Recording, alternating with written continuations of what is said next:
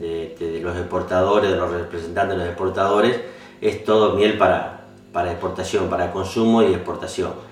Eh, no sé si después le darán algún, algún destino este, en aquellos lugares, ¿no es cierto?, que no sea de alimentación, pero básicamente es eso, básicamente la, miel para exportación.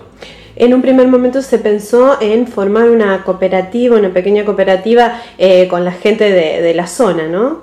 Sí, lo habíamos, eh, no tengo presente este, en este momento el año, pero habíamos logrado formar alrededor de 24, de 20, de 20 a 25 apicultores, logramos formar un grupo, ¿no es cierto?, por el cual este, queríamos comercializar este, en conjunto para tener beneficios pero bueno, los vaivenes de, la economía, los vaivenes climáticos hizo de que eh, muchos apicultores abandonaran, tal y así que habían recibido subsidios para, iniciarse en la, actividad, pero eh, la mayoría este, lo, dejó. Y hoy por hoy yo te puedo decir que seremos 6 o 7 apicultores que continuamos con la actividad y que viven de esto y que viven de la pintura, yo creo que debe haber una sola persona. Todo lo otro lo tenemos como actividad secundaria, porque vivir de la apicultura hoy por hoy es muy difícil. Hay que tener arriba mm, de 600 a 1000 colmenas como para decir vivir de la apicultura. Si no, es imposible en este proceso, digamos, de, del apicultor y de la actividad, el Estado en algún momento eh, tuvo una presencia importante para poder eh, solventar estos microemprendimientos, ayudar.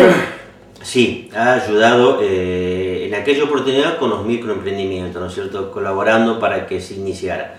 Después también te, ha, te, ha, ayudado el Ministerio de, de la provincia por la sequía, ¿no es cierto? Yo tengo colmenas en el norte, más en la zona de Tostado, ayudado con subsidio también por la sequía, después también ayudado por las inundaciones que hemos sufrido en la época también de inundaciones.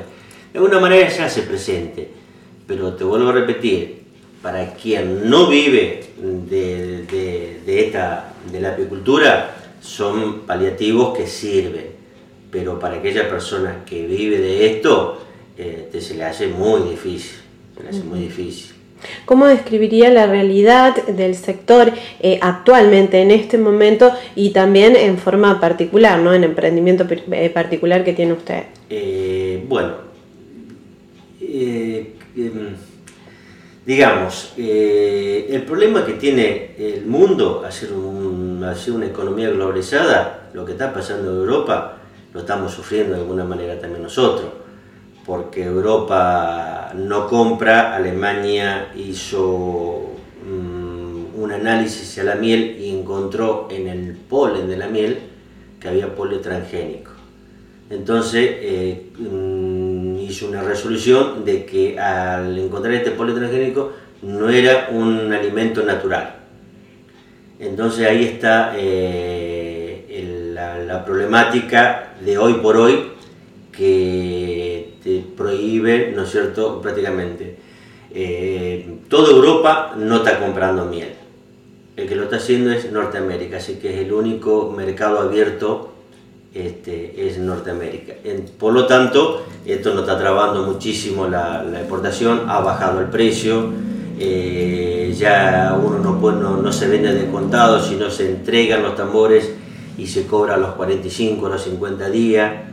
Eh, teniendo la confianza en el, exportador, porque no te dan valores, no te dan absolutamente nada. Uno le da los tambores, hace la factura y espera el pago este, confiado en que lo van a pagar. Hasta ahora han cumplido, ¿no es cierto? Pero esa es la realidad. Es media compleja hoy por